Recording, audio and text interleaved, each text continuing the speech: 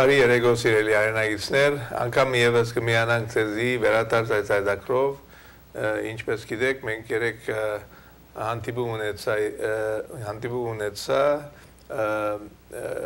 Դիկրան Խզմալյանի հետ, որ ներկայացուց Հայաստանի ներկա իրավիճակը ուրեմն քաղաքացիական շարժումները իսկ ունեի նաև ուրիշ բնաբահբամը Եղիշե Մինասյան, որ խոսեցավ բնապնության բաբանության հետ կապված բազմաթիվ խնդիրները, որ այսօր Հայաստանի մեջ գոյություն ունի եւ որոնց համար մենք բոլորս պետք է մեր գայելի ունենք եւ մասնակցենք եւ օգտակարալանք Հայաստանի ժողովրդին, որ մնան իրենց հողի վրա։ Իմ ծրագիրը հիմնական ուրեմն Հայաստանի հետ կապված նյութերու հետ է, միջին արևելքի հետ կապված նյութերու հետ է, որովհետև մենք այդ շրջանեն եկած ենք եւ պետք է վերադառնանք որչափ որ կարելի է եւ կամ կապ հաստատենք, ինչպես Եղիշեն երեք ասավ։ Այսօր ունիմ երկու հյուրեր, որոնց կուզեմ ներկայացնել, որոնց մեր առաջինը բոլորից ծանոթ դոկտոր Արմեն Այվազյանն է, որ քաղաքական գիտություններու դոկտոր է Հայաստանի մեջ ջանցված եւ Սպիրկի մեջ ջանցված եւ որ բազմաթիվ քիրքեր եւ հոդվածներ ունի մոտ 11 քիրքերու հեղինակ է եւ դասնյակ հոդվածներու հեղինակ է եւ այնինչ որ գաբ ունի Հայաստանի հիմնական հարցերու հետ, ազգային անվտանգության հետ, ասենք թե բատնության քննարկումներ գնե այն այն բատմական շրջաններու, որոնք որոնք լավ ուսումնասիրված չեն եւ ինքը անոնց կներկայացնե եւ անոնց քննարկումի միջոցով մենք կտեսնենք թե ինչ ուժեր, ինչ ինչ ուրեմն շրջանները անցածենք եւ ինչ բաներ գնանք սորվիլ մեր անցյալեն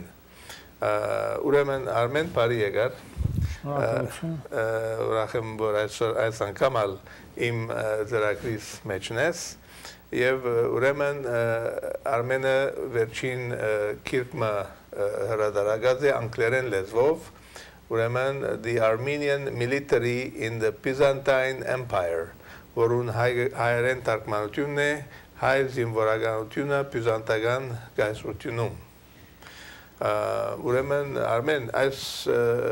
քիրքը որ ուրեմն հրադարագեցիր կամ ավելի ինչի մասին է, որ մեկ շրջանի մասին է, ինչ բանը պատճառ դարձավ, որ այսպիսի ուսումնասիրություն անես։ Գիրքը նախ ասեմ, որ ունի ենթավերնագիր, որովհետև գիրքը ոչ միայն ոչ թե հայ զինվորականության մասին է բյուզանդական կայսրության գոյության ողջ ժամանակաշրջանում 1000 տարվա ընթացքում, այլ ավելի նեղ կտրվածքով է քննվում խնդիրը, հատկապես 6-րդ դար, բայց որոշ անցումներ են կատարվում 5-րդ, 4-րդ դարի ճակատամարտեր կան վերլուծված այնտեղ նպատակս լուսաբանելն էր մեր փառահեղ եւ մեծ ռազմական պատմության անհայտ էջերից մի քանիսը բայց երբ մենք ասում ենք էջ դա չի նշանակում թե մի փոքրիկ դրվագ էր մի ամբողջական ապստամբության մասին է խոսքը գրքի առաջին մասը վերլուծում է 538-39 թվականներին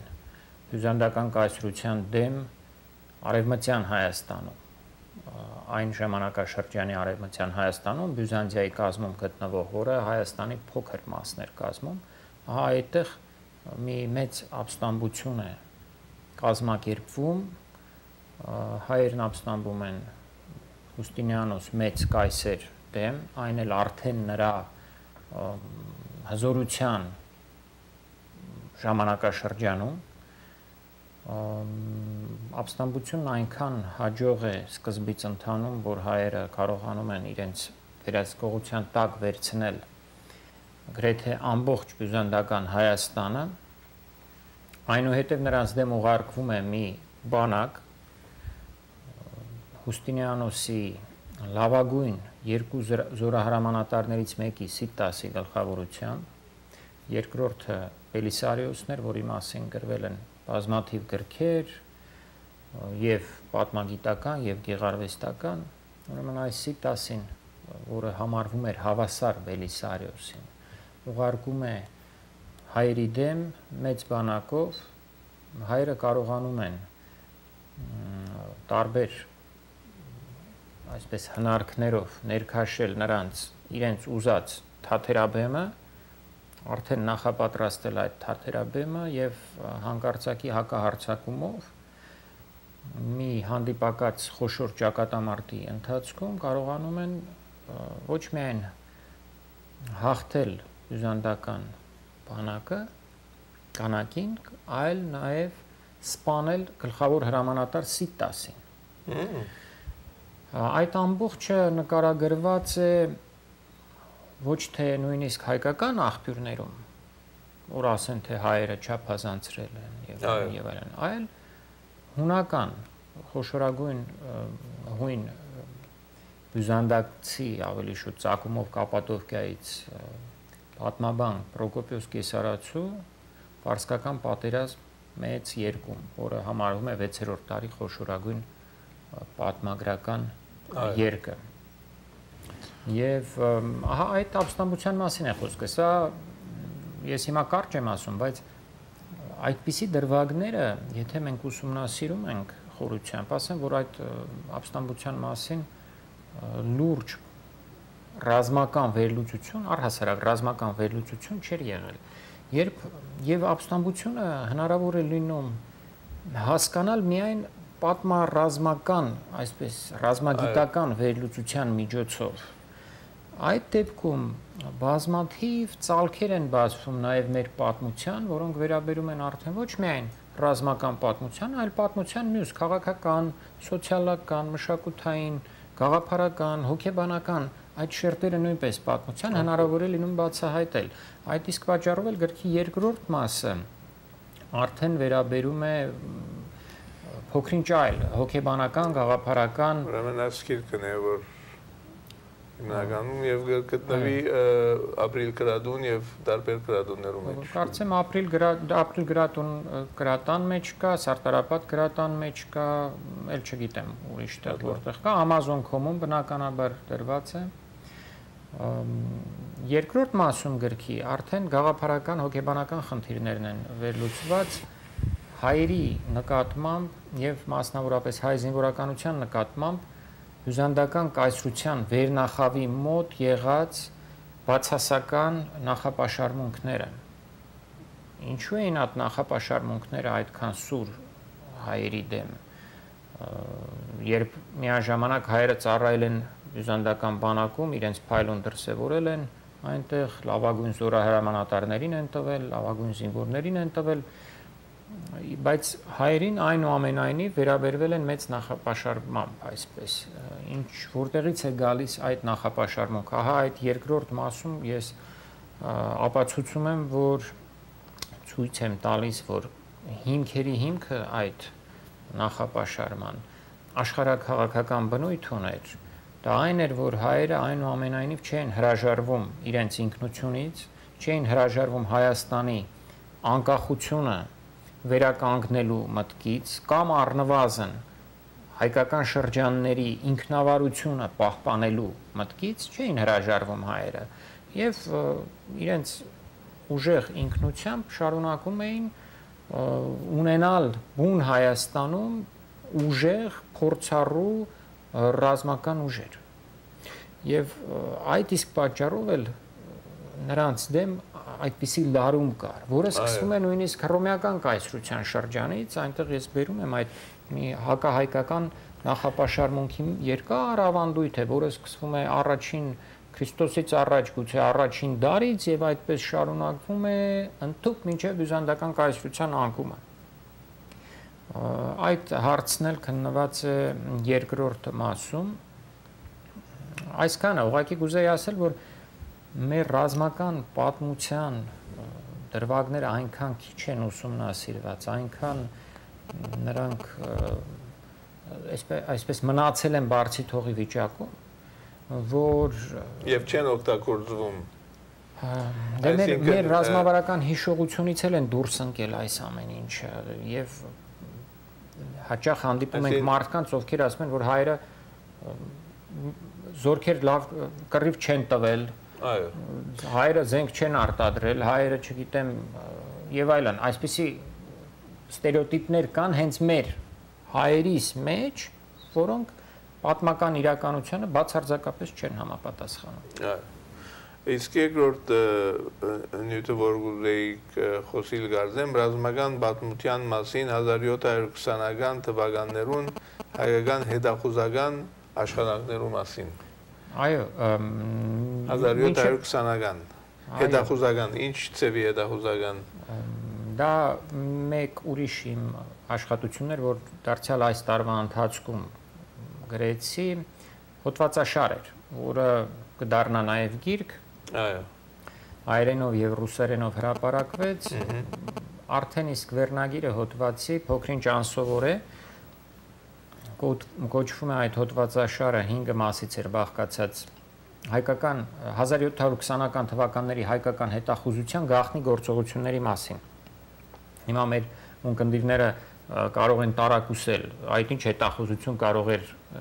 լինել 1720-ական թվականներին երբ չկար հայկական պետություն անգամ։ Այո։ Նախ պետք է ասեմ, որ հայկական հետախուզությունը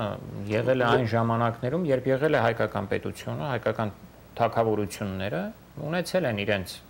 նմանատիպ ծառայությունները այս կամ այն տեսքով այդպիսի ծառայություններ եղել են։ Երբ որ մեկ թվականներին։ Միշտ, միշտ երբ եղել է հայկական պետությունը, սկսած Քրիստոսից առաջ առաջին հազարամյակից Եվ այդպես երբ եղել է հայկական պետություն, բնականաբար այդ պետությունը եթե ունեցել է բանակ, ունեցել է մաքսային ծառայություն, չգիտեմ, հարկային տեսչություն եւ այլն այսպիսի այսօրվա տերմիններով եթե օգտագործենք, նույնպես այսօրվա տերմինով ունեցել է նաեւ հակա հետախուզություն, ինչպես նաեւ հակա հետախուզության որոշակի ուրեմն տարեր։ Ինչ բան է հետաքրքրական Բայց այս այս պարագայում սա մի արտառոց դեպք է խնդիրն այն է որ 17-րդ դարի երկրորդ կեսից հայերը շատ նպատակասլաց ձևով սկսեցին նախապատրաստել իրենց ազատագրական հերթական փորձը, զինված փորձը, այսինքն ապստամբության նախապատրաստումներ էին տեսնում եւ այդ իսկ նպատակով ստեղծեցին մի լայն ցանց Հայաստանի մեջ եւ Հայաստանից դուրս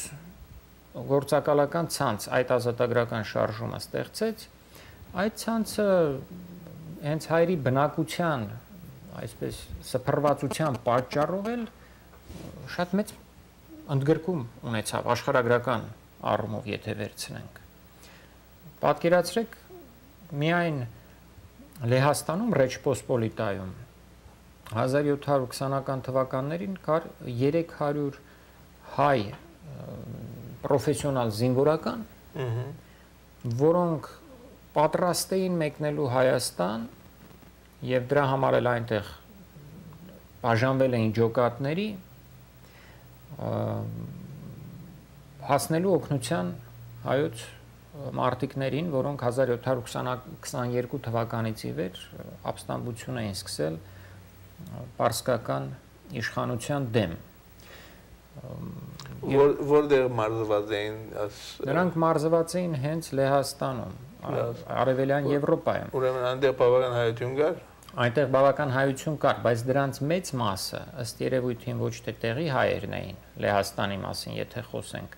այլ նախապես Հայաստանից ուղարկված երիտասարդներ էին հատուկ ընտրված երիտասարդներ որոնք այնտեղ ստացել էին ռազմական կրթություն, ռազմական ուսուցում։ Եվ այդ 300 հոգին միայն Լեհաստանում էին, բացի նրանցից կար եւս 200 հոգի Լեհաստանի հարևան պետություններում եւ շրջաններում, Վալախիայում, ուրեմն Հունգարիայում, որոնք նույնպես ենթարկվում էին մի կենտրոնի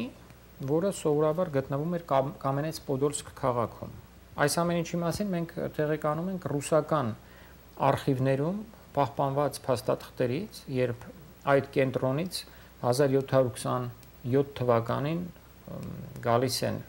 Մոսկվա ներկայացուցիչներ եւ ասում են, որ մենք ահա այսպիսի մի կազմակերպություն ունենք եւ շտապ ուզում ենք հիմա Հայաստան գնալ հայկական բանակին օգնության։ Եվ դա կատարվում է հայկական ընդեմ ընդեմ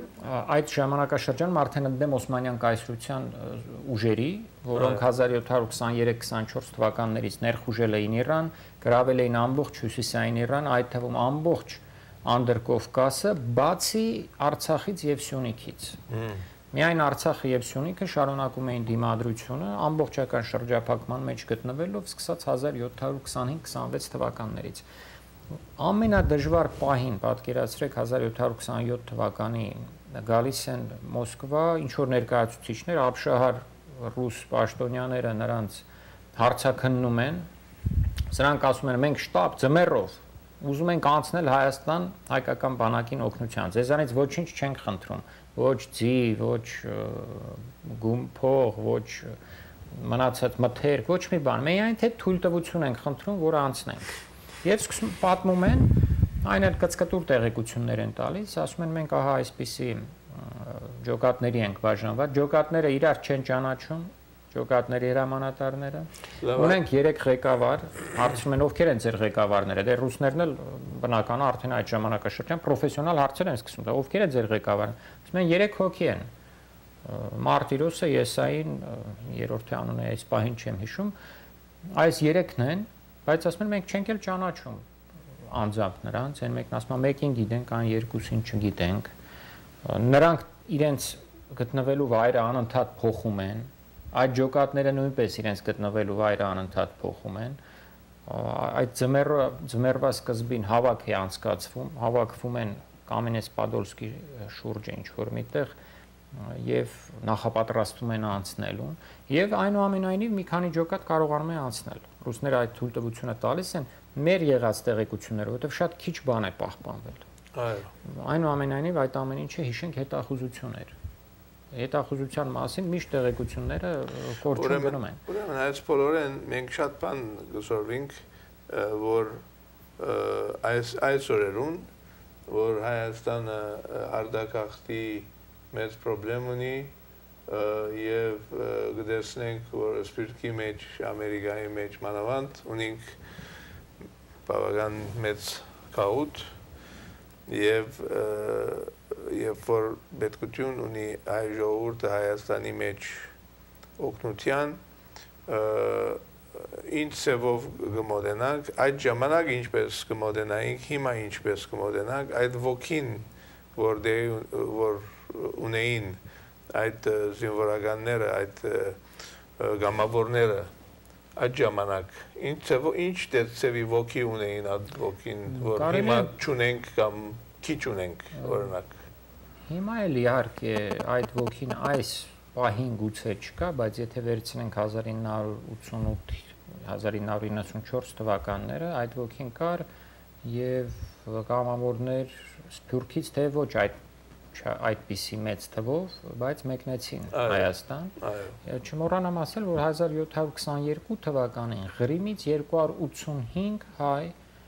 դարձյալ այդ հետոխոզական եթե անվանենք այդ ցանցը, որտեղ դա զուտ հետախուզություն էլ չէր, թե հետախուզական ծառայություն կար, այսինքն ինֆորմացիայի տեղեկատվության հավաքագրում այդ տեղեկատվության վերլուծությունը կատարվում էր փաստաթղթերում մենք տեսնում ենք, բայց բացի դրանից դրանք ռազմականացված խմբեր էին։ Գուցե արևելյան Եվրոպայում խոշորագույն ռազմականացված էթնիկ խմբավորումներ 500 հոգի միայն Լեհաստանում, Հունգարիայում, Վալախիայում եւ մի շարք հարևան շրջաններում։ Իսկ 1722 թվականին 285 ղրիմահայ, որոնք իրենց նախկին անեցի էին համարում, դրանք են մեկնում օգնության։ Ապստամբության դեռ ապստամբությունը գրեթե չսկսված եւ նրանք կարողանում են հաջողեցնում են անցնել գախտնաբար մի քանի նավերով, տարբեր խմբերով գնում են սկզբից տրապեզուն, Տրապզոն, Տրաբզոն, Տրաբզոնից անցնում են Սուրբ Կարապետ վանքը, Մշո Սուրբ Կարապետ ուխտավորների տեսքով, այնտեղից համարամբար աջակցություն ստանալով, որովհետև այդ վանքի առաջնորդը ապագա հայոց կաթողիկոսը Աբ รา համ Մշեցին մասնակից էր ըստ ամենայնի տարբեր տեղեկություններ, եթե այսպես համադրում ենք, տեսնում ենք, որ նա հայազատագրական շարժման մասնակից է եղել։ Աբ รา համ, ահա Մշո Սուրբ Կարապետուն որոշակի աջակցություն էլ հավանաբար չգիտենք ինչ կարգի, գուցե զենքով, չգիտեմ, ուրիշ բաներով ստանալուց հետո անցնում են անի Կարսի վրայով Արևելյան Հայաստան, միանում են ըստ այդ աղբյուրի, որ մենք ունենք Դավիթ Բեկի զորքերին։ Ուրեմն 285 հոգի 1988-94 թվականներին հարյուրավոր սփյուռքահայեր օժանդակել են, բայց ռազմաճակատում կռվել են գուցե ոչ այդքան թվով, այլ ընդամենը մի տասնյակ։ Չէ, ավել գուցե մի քանի տասնյակ տարբեր թվեր կան, այդպես էլ հստակ թվերը չկան, բայց գուցե այսպես ասենք 4-ից 6-7 տասնյակ մարդ։ Եվ բավականին ասենք տարբեր երկիրներ է եկած, ասենք Այո, օրինակ Մոնթե Մելքոնյանը ամերիկահայ էր, շատերը Լիբանանից էին, Սիրիայից էին եւ այլն, Ֆրանսիայից կային, Ռուսաստանից բնականաբար կային։ Իսկ ներկայիս արդակախտի հետ կապված մերձավոր արևելքի ներկա իրավիճակը մենք ինչ ծևի գեցված պետք է ունենանք, ինչ բան կբացի մեր մեջ եւ ինչ են այդ բաները, պատճառները, որ մենք այս իրավիճակի մեջ ենք եւ որ չափով ադիգագաստե Հայաստանի ուրեմն ազգային անվտանգության եւ որ չափով Հայաստանի իշխանությունները եւ սպիրկի ղեկավարները կամ կարևոր կարևորություն գուտան եւ աշխատին եւ այս իմ ծրագրովս ես այս հարցերն է որ ուզեմ որ դուք միշտ մտածեք եւ աշխատեք այդ ուղությամբ եւ ավասի կամավորներ անցյալին որ պատերազմած են եւ ազատագրած են Հայաստանը մենք այդպիսի կամավորներ պետք ունենք Ինչ ինչ ուրեմն գուզե գսել այդ ուտը։ Տեսեք, այսօր դարձյալ երկու հոգի, երկու հայ զոհվել է Սիրիայում։ Ամբողջ խնդիրն այն է, որ մենք պետք է ունենանք վերջապես այնպիսի մի ղեկավարություն, ինչպես Հայաստանում, այնպես էլ Սփյուռքում, որը ի վիճակի լինի նաև կանխատեսելու եւ համապատասխան միջոցներ ձեռնարկելու կենսական սպառնալիքների դեմ կանխատեսել է պետք այդ կենսական սպառնալիքները ինչու այսքան անպատրաստ գտնվեցին որ հայերը դեռ մնում են Սիրիայում նրանց պետք էր օր առաջ նույնիսկ մինչև Սիրիայում քաղաքացիական պատերազմի սկսվելը պետք էր արդեն հնարավորին չափ արագ փորձել ներ բերել Հայաստան հայրենադարձնել նրանց ես 2006 թվականին ինքս հրավիրվել եմ Սիրիա եւ դասախոսություններով հանդես եմ եկել Հալեպում, Քեսաբում, Ղամշլիում, Դամասկոսում, այսինքն բոլոր հայաշատ վայրերում։ Եվ իմ ասելիքի գլխավոր կետերից մեկը հենց դա էր, որ մերձավոր արևելքում իրավիճակը գնալով վատանում է նաև Սիրիայում արդեն նշանները կային այն ժամանակ եւ པարզ էր որ հայությունը չի կարող այդտեղ գոյատևել այնտեղ ցնցումները սպասվում էին եւ ես սա ասում եմ ոչ միայն ես բանավոր եմ այդպես ասել այլ նաեւ գրավոր նույն 2006 թվականին հանդես եմ եկել հոդվածներով մասնավորապես Գոլոս Արմենիի թերթումի մեծ նյութ լույս տեսավ բիլետ վազին կանեց ուրեմն նաև 168 թերթ ժամում մի հարցազրույց լույս տեսավ որտեղ որտեղ ես սա པարզ ասում էի որ պետք է շտաբ այնտեղից հայերին վերել Հայաստան որովհետև ասել թե պարզապես Սիրիայից դուրս գալ, է դուրս գան Սիրիայից գան Ամերիկա կամ գնան Կանադա, դա նշանակում է որպես հայ կորել, ջուլվել առաջիկա մի քանի տասնամյակի ընթացքում իսկ այդ համայնքը, քանի որ հայեր են գիտեր, հայկական դպրոցներ ուներ, լրիվ պատրաստ էր Հայաստանում ինտեգրվելու համար, եթե որոշակի միջոցներ, որոշակի օժանդակություն ցուցաբերվեր համայնքին։ Բայց ցավոք սրտի այդպիսի նախազգուշացումները նույնիսկ այն ժամանակ էլ ես զգացի, որ ոչ միայն չեն ընկալվում ու չեն ընդունվում, նաև նույն սիրիահայերի կողմից, այլև թշնամաբար են ընդունվում։ Մարդիկ շատ այսպես լավ չէին ընդունում այդ ինչ որ դու ասում ես, որովհետև սովորական քաղաքացին կարող է չընկալել, բայց ղեկավարությունը պարտավոր է տեսնել այդ վտանգները, պարտավոր է մտածել։ Դե այստեղ գալիս է ոչ միայն կանխատեսելու խնդիրն է գալիս, այլ այն, որ Հայաստանի Հանրապետությունը իր հիմնադրման օրվանից չորթեգրեց հայահավաքման քաղաքականությունը որպես առաջնահերթություն, որպես իր քաղաքական ուղեգծի համար առաջին խնդիրներից մեկը։ Այո։ Տեսեք, Իսրայել պետությունը 48 թվականին հիմնվելուց հետո այո իր զարգացումը ամեն ինչը կախված էր հենց այդ հрьяաների այսպես վերադարձ վերադարձ անվանենք թե հрьяաներին Իսրայել բերելուց։ Այ այդ այդ այդ քաղաքականությունը անոր վրա հիմնված է իմ քաղաքականությունը։ Եվ մինչև այսօր, եւ մինչև այսօր ամեն տարի նույնիսկ ամենազարգացած պետություններից Միացյալ Նահանգներից, Կանադայից, Մեծ Բրիտանիայից, Ֆրանսիայից օթանավերով հрьяաներին խումբ-խումբ Ռուսաստանից ես ասում եմ ամենազարգացած եւ հարաբերականորեն բարգավաճ երկրների մասին եմ խոսում, մնացած երկրներից բնականաբար ավելի շատ։ Ուրեմն ինչպես նրանք կարողացան օգտագործել մարդկային այդ ներուժը եւ զարգանալ։ Իսկ մեզանում այդ խնդիրը ընդհակառակը հակառակ ընթացք ստացավ։ Հայաստանը ձեռք բերեց անկախություն, սկսվեց արտագաղթ։ Մեծ թափերի արտագաղթ, որը մինչև այսօր չի դադարում կորցանարար մի ընթացք է սա։ Ահա այս խնդիրը մինչև այսօր դրված չէ։ Հայաստանի Հանրապետության քաղաքականության հիմնակարը պիտի լինի հայահավաք, հայահավաքման, ինչպես նաև հողահավաքման, հողահավաքի եւ հայահավաքի այս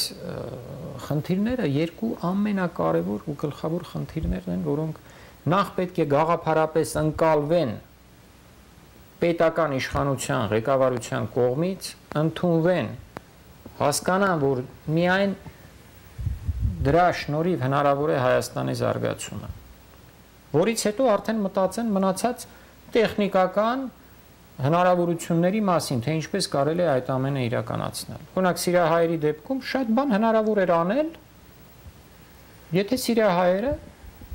իրենց տները հասցնեին վաճառել, ծերանոցները հասցնեին վաճառել, այդ ահռելի գումարներով նրանք կարողանային Հայաստանում ձեռք բերել եւ տուն, եւ նոր ծերանոց, եւ մնացած ամեն ինչ։ Իսկ հիմա Սիրիայում բնականաբար անշարժ գույքի շուկա գոյություն չունի այլևս։ Եվ նրանք կորցրեցին ամեն ինչ։ Շատ-շատերը ամեն ինչ կորցրեցին, որոշները մի մասը կորցրեցին Այսինքն արժեք չմնաց այդ այլևս քույքերու եւ այլն, ամենս որ ժամանակ որոշումները պետք է ճիշտ ժամանակին առնվին։ Իհարկե։ Ամենս որ անհրաժեշտ պետք է սկսվել էին, ցույց էին տալիս մեր հերոստատեսությամբ, YouTube-ով, բան ասում են, հայերեն ասում են, մեր թաղամասերից հեռու են ընթանում այդ կռիվները։ Եվ բայր, եթե հрьяաները լինեին, Դեռ կռիվները չսկսած արդեն օթանավերով կհանեին առաջին վտանգի դեպքում։ Իսկ մենք արդեն տասնյակ զոհեր ունենք։ Վիրավորներին չեմ հաշվում եւ այդ նյութական կորուստներն էլ չհաշված։ Այո, ուրեմն այդ ուտյամբ ցավված ենք եւ մարդիկ պետք է ընդունին ցավ իրենց ցավությունը եւ վերակննեն ամեն ինչ։ Այդ վերակննումը շատ կարևոր։ Ուրեմն այս քիրքի ուտյամբ հիմա պիտի հայտարարեմ, ես հիմա պիտի ունենամ ուրեմն ուրիշ հյուրմը, որ Արմեն Այվազյանի գոհագիցն է, իր դիգինն է, Լուսինե Սահագյանը, որ պիտի խոսի համշենահայության մասին, հիմա հույսով եմ, որ Լուսինե հրամ է, ես նաև մինչ այդ կուզեմ հայտարարել, որ Արմեն Այվազյանի այս քիրքը այս քիրքը բյուզանդական ուրեմն կայսրության հայ զինվորականության մասին, քիրքի մասին, ուրեմն տասախոսությունը պիտի ունենա եկող այս կիրագի չէ, հաջորդ կիրագի շնորհակալություն Արմեն այս կիրագի չէ, հաջորդ կիրագի դեկտեմբեր 16-ին Երևան ժամը 6-ին Գլենդեյլի գետրոնական քրատարանի մեջ ուրեմն բոլորը տրավիրված եք գծանոթանակ եւ գգաբիկ նորեն Արմենին հետ եւ գզրուցեք իր հետը հետաքրքիր ուրեմն խոսակցություն գլա դեկտեմբեր 16 ժամը 6-ին Գլենդելի գետրոնական քրատարանին մեջ։ Այժմ ուրեմն Լուսինե Սահակյանը, որ Երևանի Պետական համալսարանի պրոֆեսոր է եւ եթե չեմ սխալիր թուրքագետ է։ Այո, ամբիոնում դասախոսում։ Եվ Ուրեմն վերջին քիրքը գրած է եւ ֆիլմը ունի Թուրքիո համշենցիներու մասին։ Անցյալ շաբաթօր այդ ֆիլմը ցույց տրվեցավ ուրեմն Լոս Անջելեսի մեջ 15-րդ ուրեմն դարվա ֆեստիվալ մգար հայկական գազམ་ագերբության կողմէ դարբեր ֆիլմերու հետ կապված ուր Լուսինե Սահակյանը ներկայացուց այդ ֆիլմը եւ շայեցավ Արմին Վեգների անվան մարտահրավերական մրցանակը ճշմարտությունը դեսնելու եւ ներկայացնելու քաչության համար իսկապես որ ամեն մարդ չէ որ գրնա այսօր Թուրքիա երթալ եւ բրբդել այդ ուրեմն ժողովրդի ժողովրդակրական աշխատանք տանի եւ դեսնե եւ անոնց ինքնությունը մեջտեղ հանե եւ գաբը հաստատե համշենցիներու եւ հայերու հետ եւ այս ուղղությամբ է որ Լուսինեն պիտի ներկայացնե իր քիրքը եւ իր ֆիլմի մասին պիտի դերակցություններ դա ուրեմն լուսինե ցեզի գցկեմ ներկայացնեք ծեր այս աշխատանքը վերջին աշխատանքը ինչ բանը մղեց որ այս համշենցիներու հետ ուսումնասիրությունը գմտածեի այդ ուղղությամբ բայց բավական ժամանակ է ինչ ձևով է որ այս զրակիրը մեջտեղ է լավ, եթե կարելի է, խնդրեմ, հրամեցեք։ Բարի երեկո, շնորհակալություն հրավերի համար։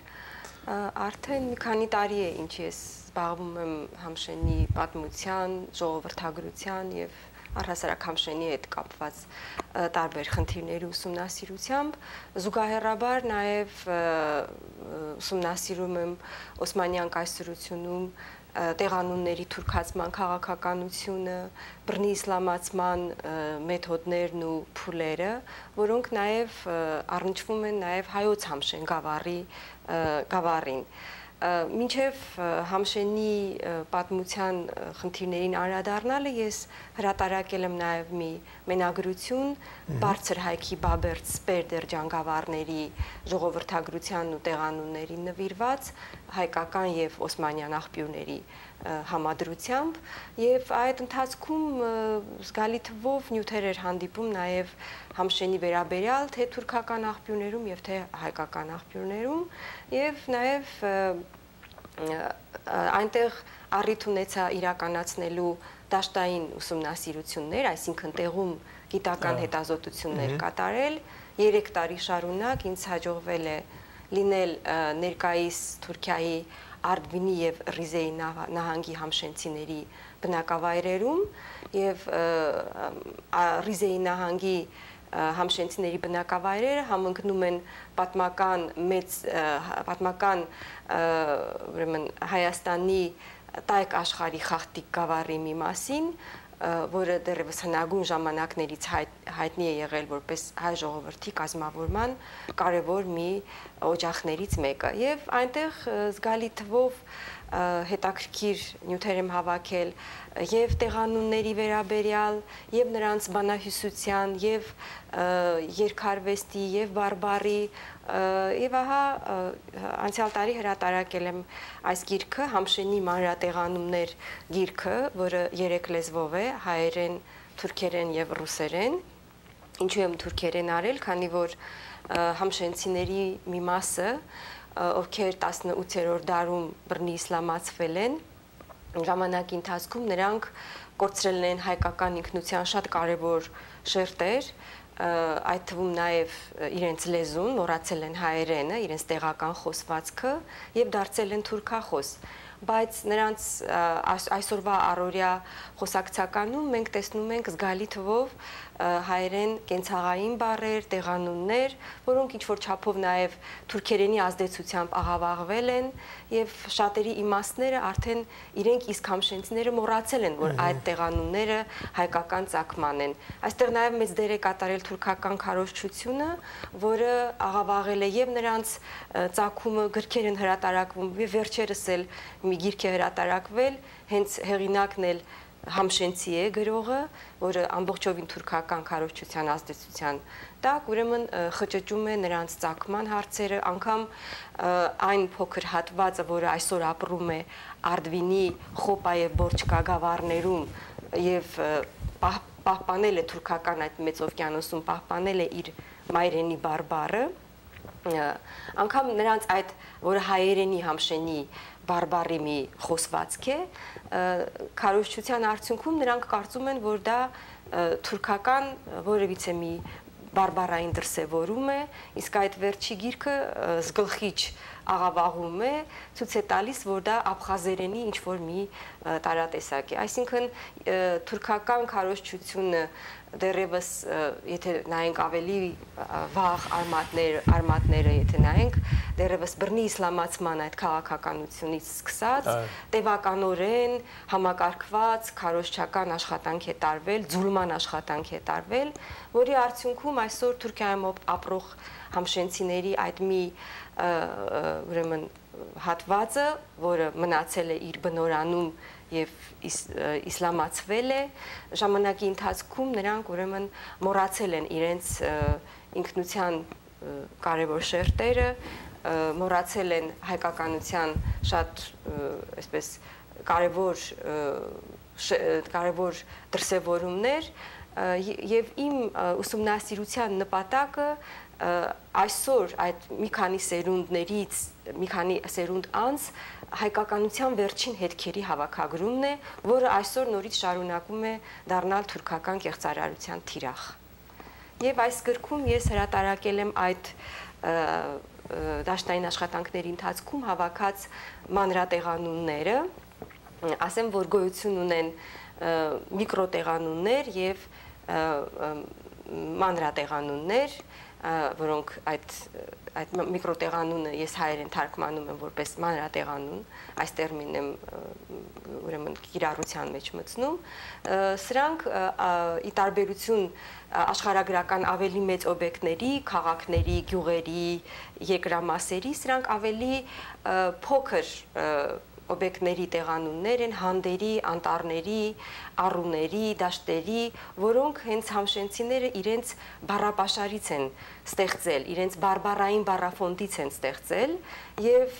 սա հատուկ է հենց ամեն մի գյուղ, ամեն մի գյուղին բնորոշ է իր ուրեմն տեղանունը ես կուզենամ մի քանի օրինակ կարդալ, որ ունկնդրին ավելի պարզ լինի թե ինչի մասին է խոսքը։ Օրինակ ասենք ինձ հաջողվեց գրառել Ռիզեի նահանգի Չամլեհեմշին գավառի Մակրևիս գյուղում մի կնոջից հետեւյալ հայկական տեղանունները ածկող, որը աչկող բառն է հայերեն, խաչտուր, հենց տեսնում եք մաքուր պահպանված խաչտուր ձևը, դոցխաբակ, որը նույնպես մաքուր գրափարյան եկած տեղանուն է, տոսախ ծառի տեսակ է, անտառի տեսակ է եւ բակ բառը տոսխաբակ, ահա այսպիսի դրսևորմամբ, կալեր տեղանունը, ինչպես նաև ընկեզուտ, որը մաքուր պահպանվել է նրանց բարբարում, լորուտ, խաչթուր,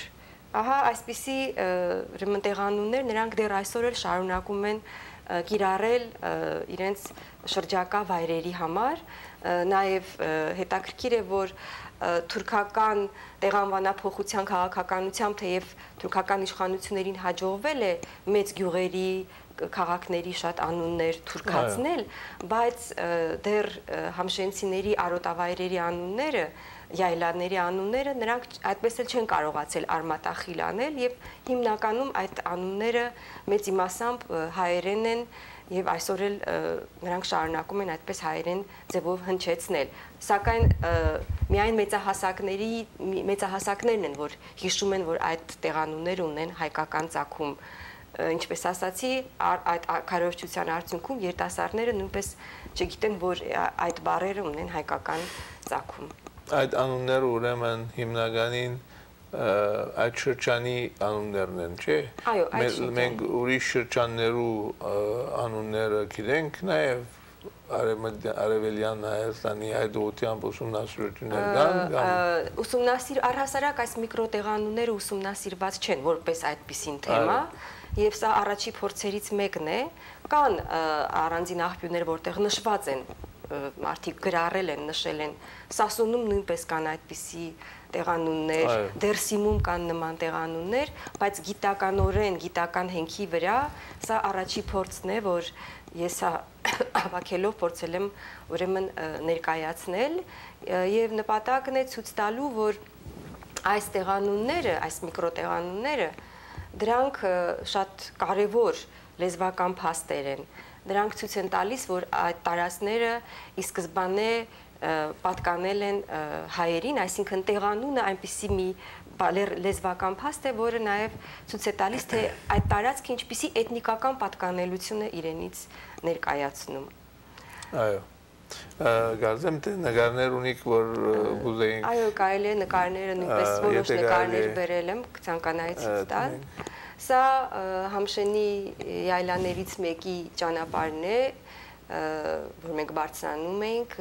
Գիթոյի յայլա է կոչվում, հայերեն քիթ բառից է, Քիթոյի յայլա, որը 2000 մետր բարձրության է։ Ասեմ, որ այսօր համշենցիները յայլաներում առաջվա նման այլևս անասնապահությամբ չեն զբաղվում, այլ ավելի շատ նրանց համար ամառանոցային հանգստյան վայրեր են մի տեսակ դարձել եւ Ռիզեի համշենցիների թիվը ըստ տեղացի մտավորականների վկայությամբ մոտավորապես եւ Ռիզեի նահանգի համշենցիների բնակավայրերում, ինչպես նաև Թուրքիայում հաստատված այլ քաղաքներում մոտավորապես մի 60000 է հաշվում։ Եթե կարելի է նկարը փոխել, սա գտնվում է Արտվինի նահանգի գյուղերից մեկում Խիկո գյուղում, որը Արտվինի խոպա գավառում է։ Այստեղ խոպայի գավառում եւ Որչկայի գավառում բարբարախոս համշենցիների թիվը հաշվում է մոտավորապես 1 25-ից մինչև 45000 նորից Թուրքիայում մեծ հաստատված քաղաքներով քաղաքներում հաստատվածներով հանդերձ այս կամուրջները ուրեմն համշենի բնաշխարին յուրահատուկ կամարապակապ կամուրջներն են, որոնք բավականին վաղ անցյալում են կառուցվել, ըստ թուրքական ցուցանակների ընդհանուր միջև 16-րդ դար են նշվում, բայց ես կարծում եմ, որ սրանք ավելի հին պատմություն ունեն, որոնց մի մասը վերանորոգված է եւ այս կամարակապ, այս կամուրջները շատ բնորոշ են հենց համշեն աշխարհի տարբեր գետերի վրա տարբեր շրջաններում մենք կարող ենք տեսնել, նաև եթե նկարից նայում եք, տեսնում եք ամբողջովին անտարախիտ մի բնաշխարհ է իրենից ներկայացնում, այո։ Հաջորդ նկարը պատմական Եղնովիտի արոտավայրում Քարթալ հյուրատանը մի տանտիրուհու տանտիրուհիների հետ եմ նկարվել, որոնք շատ հետաքրքիր պատմություն են պատմում եւ իրենց նախնիների մասին, հիշելով, որ իրենց նախնիները եղել են հայ, օրինակ տանտիրուհին պատմում է, որ իր մայրական իր մայրը պատմում էր, որ իր քերիները հայ են եղել։ Տեսեք, նա իր համար այդպես չի ընդունում, չի ասում, բայց ասում է հիշում եմ, որ իմ քերիները հայ են եղել։ Սա շատ անկեղծ ձևով էր նա ներկայացնում եւ պատմում է մի հետաքրիր պատմություն, որ նրանք ի- մոտ 3 սերունդ առաջ այնտեղ ապրել են 3-4 սերունդ առաջ մոտավորապես մի 50 տուն հայ է այնտեղ ապրել, մի 5-6 տուն թուրք բնակիչ է եղել Եղնովիտի այս վայրում եւ հայերը ասում է որ պահպանում էին հավատարիմ էին իրենց կրոնական սովորույթներին, դիմադրում էին թուրքական պարտադրած օրենքներին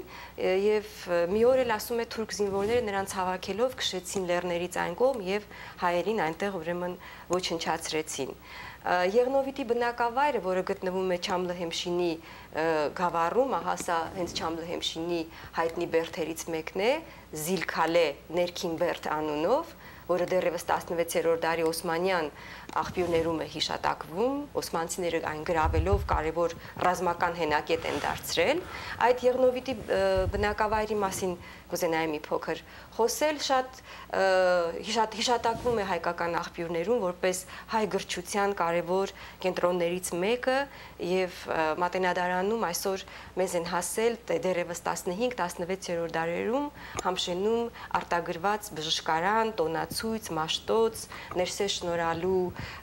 երկերից են հասել եւ այդ գրչության ծրագրերի ծրագրերի մակարդակից եւ նրանց միջև եղած մանրանկարչության մակար- մակարդակից մենք կարողանում ենք պատկերացում կազմել թե ինչպիսի բարձր գրչության մակարդակ է ունեցել համշենը դեռևս 15-16-րդ դարերում։ Ես մեկ հարցում ունեմ, ուրեմն ցեղասպանության հետևանքով մնացած հայերու իսլամացումն է ասիգա, եթե ինչպես կլա որ այս բնակչությունը այդտեղ գանդագավին որ ցեղասպանության չեն ենթարկված կամ ինչպես էր ասիգա գնաք բացատրել։ Ուրեմն Օսմանյան կայսրությունը նախ ի սկզբանե ստեղծման իր իսկ առաջի պահից մի հակոտնյա աշխարհ էր քրիստոնյա աշխարհին ստեղծվել եւ ժամանակ առ ժամանակ Օսմանյան իշխանությունները հատուկ մեթոդներ էին մշակել համակարգված քրիստոնյա բնակչության ձուլման ուղղությամբ եւ այդ տարածված իսլամացման մեթոդներից մեկը բռնի իսլամացումն էր ֆիզիկական սպառնալիքով էր այն ընթանում բացի այդ նաեւ այլ տարատեսակ իսլամացման ձևեր էին մշակել տնտեսական ծանր պայմաններից հարկային ծանր քաղաքականությունից խուսափելու համար շատերը ճակերտավոր կարելի ասել կամավոր մահմեդականություն էին ընդունում եւ եթե սկզբնական շրջանում նրանց թվում էր որ դա առերես է ապա ժամանակը ժամանակի ընթացքում պատմությունը ցույց է ցույց տվեց, որ արդեն սերնդափոխության ընթացքում այդ մահմեդականացումը իր խորը արմատներն էր գցել եւ massայական բռնի մահմեդականացում տեղի ունեցավ 18-րդ դարում հայոց համշենգավառում, որտեղ մարդկանց ուղակի ֆիզիկական սպառնալիքի տակ ստիպում էին բռնի իսլամանալ եւ մի մասը, որ դիմադրեց եւ չընդունեց իսլամ, դուրս եկավ իր բնորանից դիմադրության շնորհիվ համշեն, համշենահայերի հաստատվեց Սևծովի հյուսիսային ափերում եւ այսօր ուրեմն Հայաստանի հետ նրանց կապը սերտ է, նրանք պահպանել են իրենց ազգային դիմագիծը, իրենց կրոնը, իսկ այն հատվածը, որը մնաց բնորանում, այ հարցնում եք ինչպես նրան նրանք մնացին տեղում իսլամ ընդունեցին մնացին պարտադրված ընդունեցին եւ ժամանակի ընթացքում այդ համակարգված ձուլման քաղաքականության արդյունքում նրանք մոռացան կորցրեցին իրենց հայկականության ամենակարևոր ուրեմն շերտերը։ Իսլամացում արավել թրկացում։ Այո, իսլամացում Օսմանյան կայսրությունում հավասարազոր էր թրկացման։ Հենց հայկական աղբյուրները այդպես գրում են, ասում են նա իսլամ ընդունեց եւ տաճկացավ։ Եվ այս քաղաքականությունը, ինչպես ես իմ հոդվածներում եմ շեշտում նաև այս մրցույթին ներկայացված ֆիլմում, հավասարազոր էր ցեղասպանության։ Եթե անհատին բռնի ստիպում է կրոնը փոխել եւ կրոնի փոխ կրոնափոխությունը ենթադրում է նաև ազգի փոփոխություն, ազգուրացություն, սա արդեն հավասարազոր է ցեղասպանության քաղաքականության։ Այսինքն Օսմանյան իշխանությունները տարատեսակ մեթոդներով են կոտորակել, ոչնչացրել հայ ժողովրդին եւ այս ձևերից դաժան ձևերից մեկը սա է։ Հայերեն զատ ուրիշ ինչ ժողովուրդներու այս բանը եղած է։ Հայերից զատ նաև մեծապես այս իսլամացման քաղաքականությունից դուժել են բալկանյան ժողովուրդները, հույներն են տուժել, լազերը, այսօր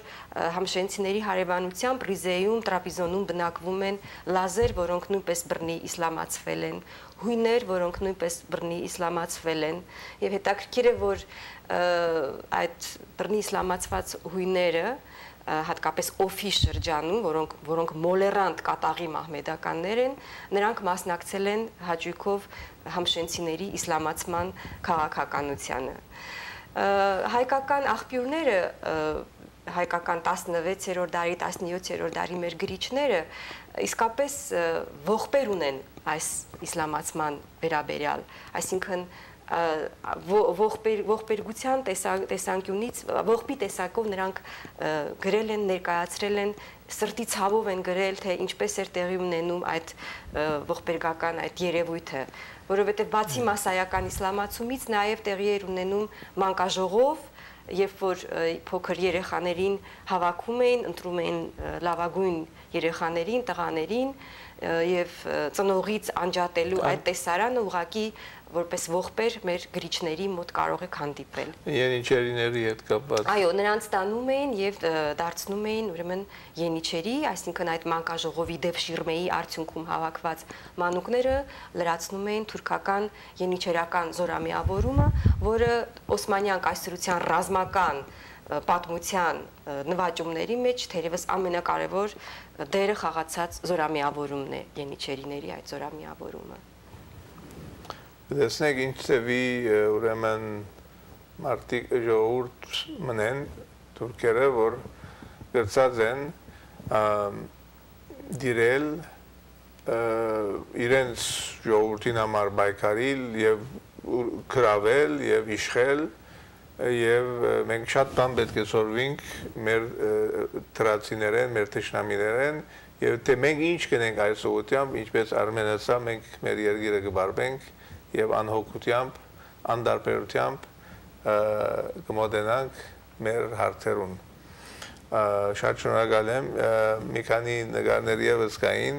ուրեմն գարձեմ հանդիպումը պիտի ունենակ, տասախոստումը պիտի ունենակ, այստեղ ուրեմն ամսուն Մերդինյան վարժանի մեջ դեկտեմբեր 11-ին, որ հաջորդ հաջորդ երեքշաբթի է, արփա հիմնարկը գազམ་ագրված է, որոնց ղեկավարն է Հակոբանոսյանը, ուրեմն այս դեկտեմբեր 11 ժամը 7:30-ին երեկոյան Sherman Oaks-ի մեջ 1330 Riverside Drive Valley-ի մեջ որուն նյութը բիդելլա համշենցիներն ու համշենի հայկական դեղանունները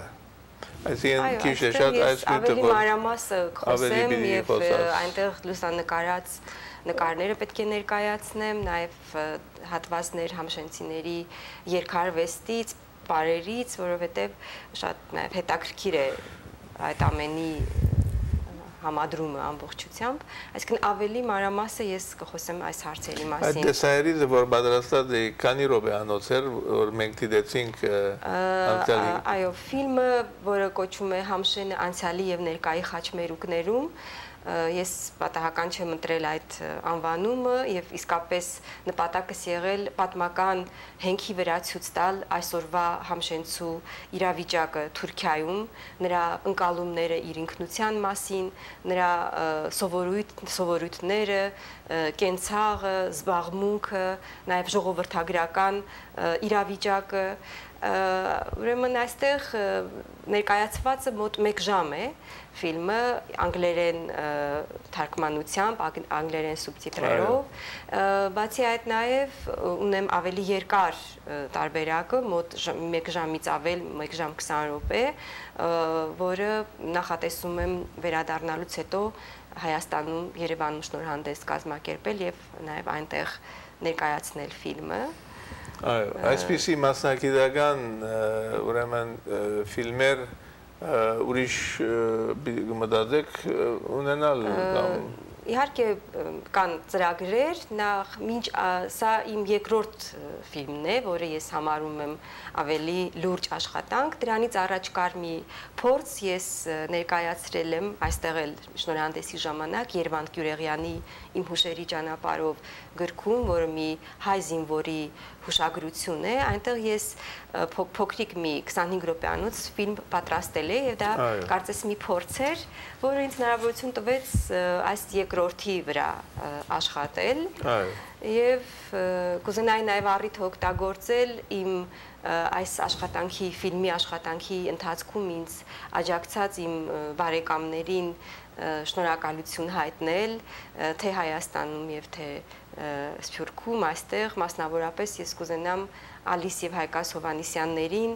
իմ խորին շնորհակալությունը հայտնել իրենց աջակցության համար եւ կարծում եմ որ այս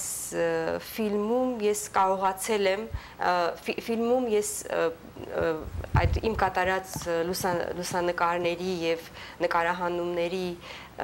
նկարահանումները փորձել եմ տանել նաև գիտական դաշտ, այսինքն իմ տարիների գիտական աշխատանքների արդյունքների հենքի վրա է ստեղծված այս կինոնկարը։ Այո, ուրեմն ինչպես կտեսնեք սիրելի հայրենակիցներ, օժանդակենք մեր քիտնականներուն Հայաստանի մեջ, որովհետև ամեն մարդ